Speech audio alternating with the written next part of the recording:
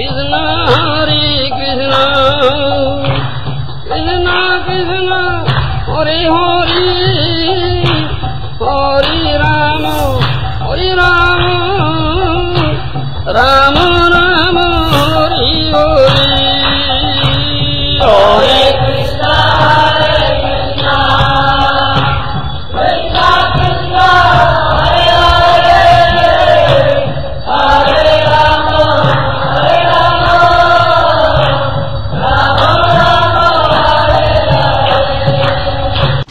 କୀର୍ତ୍ତନ হয় ଏ ସ୍ୱାଭାବିକ ଫଳ ମିଳେ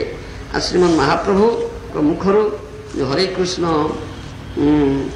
ମୁଖୋଦ୍ଗୀର୍ଣ୍ଣ ହରେ କୃଷ୍ଣ ନାମ ଯେଉଁ କୀର୍ତ୍ତନ କରୁଥିଲେ ତା ଫଳରେ ସ୍ୱାଭାବିକ ପ୍ରେମ ଲାଭ ହେଉଥିଲା କାରଣ ଶୁଦ୍ଧ ନାମ କୀର୍ତ୍ତିତ ହେଉଥିଲା ହରି କୃଷ୍ଣ ନାମ ଏ ନାମାକ୍ଷର ଶ୍ରୀ ଚୈତନ୍ୟଙ୍କର ଉଚ୍ଚାରିତ ନୁହେଁ ତାହାଙ୍କର ମୁଖରୁ ଗୀରିତ ଏହା ବାଞ୍ଛାତ୍ରୟ ପୂର୍ତ୍ତିମୟ ଆସ୍ୱାଦନର ସ୍ୱରୂପ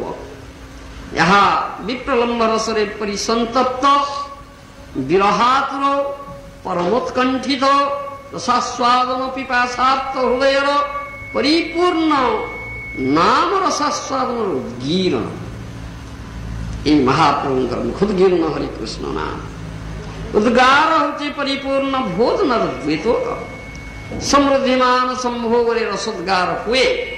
ତାହା ସର୍ବଭାବର ଉଦ୍ଗମ ଉଲ୍ଲାସର ଅଭିବ୍ୟକ୍ତି ସାତ୍ବିକାଦି ବିକାର ବ୍ୟାଜରେ ତାହା ବହିର୍ଗତ ଉଦ୍ଗାରରେ ଆହାର୍ଯ୍ୟ ବସ୍ତୁର ଗନ୍ଧ ଥାଏ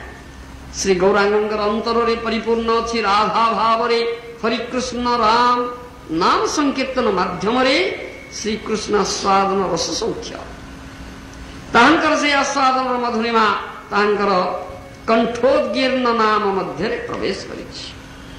ଗୌରାଙ୍କର ହୃଦୟରୁ କଣ୍ଠରୁ ଉତ୍ସାହିତ